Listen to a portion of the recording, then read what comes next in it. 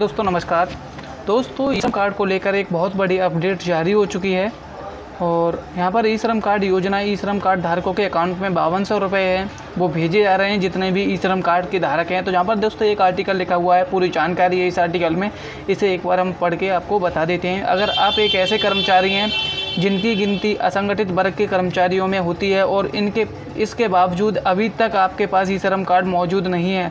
अर्थात आपने अपना ई श्रम कार्ड नहीं बनवाया है तो हमारे इस आर्टिकल में बताई गई खबरों आपके लिए बहुत ही काम की साबित होने वाली हैं।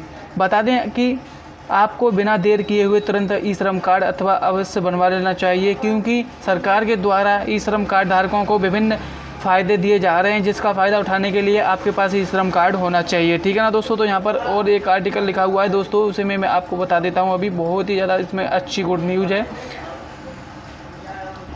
और दोस्तों, सरकार के द्वारा ई श्रम कार्ड रखने वाले लोगों के बैंक अकाउंट में बावन सौ रुपये ट्रांसफ़र किए जा रहे हैं।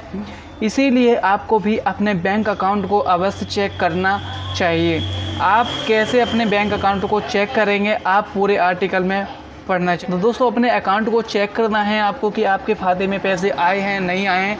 तो किसी साइबर कैफ़े पर या एपीएस सेंटर पर जाकर अपने अंगूठा से या फिंगर लगा के अपना अकाउंट है, वो चेक कर सकते हैं। दोस्तों, अगर आप मोबाइल नंबर से चेक करना चाहते हैं तो मैंने जो पिछली वीडियो बनाई थी, उस पर मोबाइल नंबर से अपना ई श्रम कार्ड के बैलेंस है, वो चेक कर सकते हैं कि आपको इसका लाभ है, वो मिला है या नहीं मिला है। ठीक है ना दोस्तों? तो आज की जानकारी बस इतनी ही। मिलते हैं अगली वीडियो में नई जानकारी के साथ। जय हिंद दोस्तों, वंदे मातरम।